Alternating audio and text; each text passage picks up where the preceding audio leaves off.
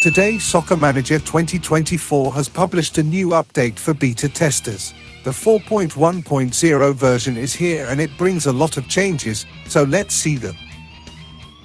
To begin with, I would like to say that normally the April update brings changes in transfers and ratings in the Latin American leagues, but from what I saw, at least in the Argentine league, they have not changed anything.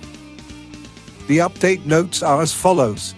Fixed an issue where boost warnings would not work for international games. Fixed an issue where scout reports would fail to find regenerated players, leading to them coming back blank in long-term saves. Fixed a texture bug when upgrading the training facilities, fixed a bug where bids would fail in the second round of transfer auctions, resolved a few miscellaneous crashes, improved the UI for the new event system. The update, as always, arrives first to beta testers, and for everyone it usually arrives at most one week later if everything goes well. Otherwise it may arrive within two weeks even with another version number